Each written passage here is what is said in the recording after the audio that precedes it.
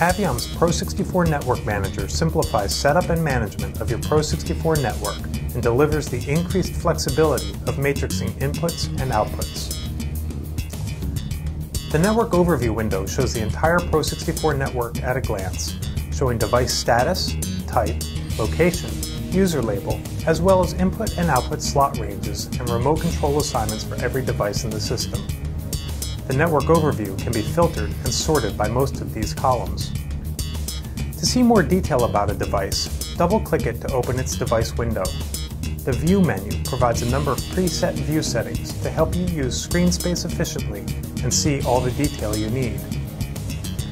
For audio I.O. devices, the device windows provide an overview of channel activation status and network slot assignments, plus details on each channel's audio settings and user-entered name.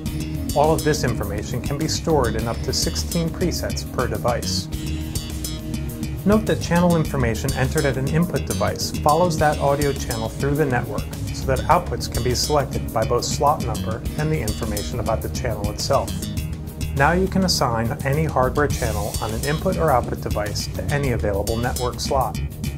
Simply select Matrixed from the drop-down menu and confirm your choice.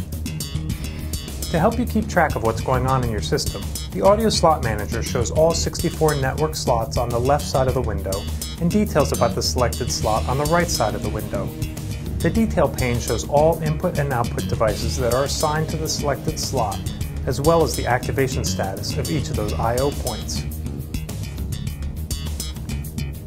In addition to device-level presets, Network Manager allows you to save network-level scenes enabling you to reconfigure your entire network in a few simple clicks.